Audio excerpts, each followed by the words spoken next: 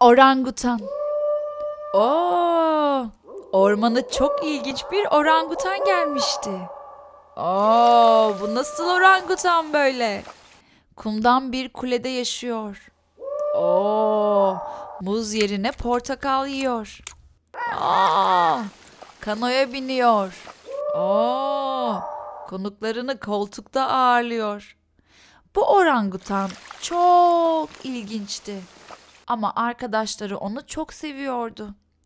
Bir gün ormanda kukla oyunu düzenlemişti. Bunu duyan koalalar oyunun oynanacağı yere kol kola oraya geldiler. Orangutana 10 kilo portakal getirdiler.